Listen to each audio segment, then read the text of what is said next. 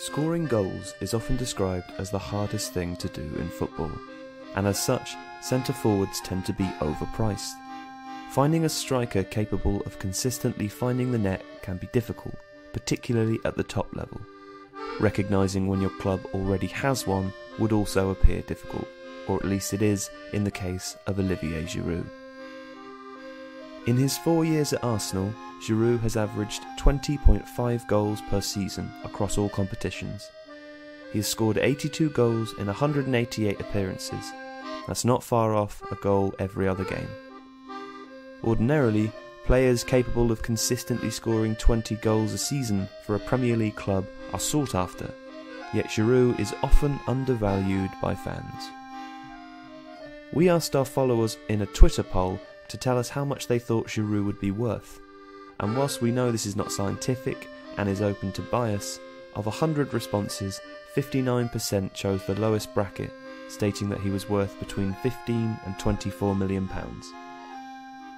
So given his goal output, why is Giroud perceived to have a comparatively low value? Legitimate answers can be found in his age. At 29, he's approaching the close of his career. You might also suggest that, at Arsenal, excellent service can account for some of his output. But likely the foremost reason for his undervaluing is that he is not considered an elite striker. His output, whilst consistently high, does not rival the best in his position. However, given the very small number of elite strikers, Giroud's value as a consistent scorer should still be recognised.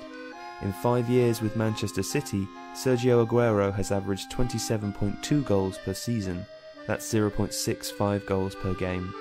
On average, that's just under 7 goals a season more than Giroud. Yet Transfermarkt have Aguero valued at £52 million, whereas Giroud is valued at just £21 million. In 2014, the website Sporting Intelligence worked out, based on the broadcasting income of clubs, that each Premier League goal was worth just over £900,000. With just seven goals a season difference between the two strikers, the £31 million difference in valuation seems slightly excessive. In fact, when Giroud moved to Arsenal from Montpellier, he did so for a transfer fee under his valuation.